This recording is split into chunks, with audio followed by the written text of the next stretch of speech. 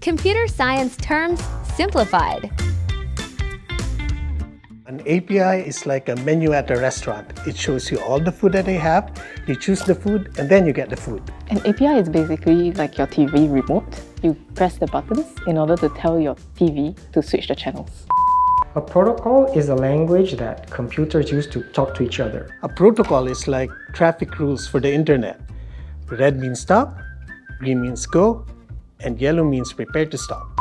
A firewall is basically the ticket ushers at a concert venue where they will check your tickets and only allow you access to the areas that your ticket gives you. A neural network is like teaching your little brother how to play basketball. At first, he's not very good, but as he practices with him, he becomes better and better.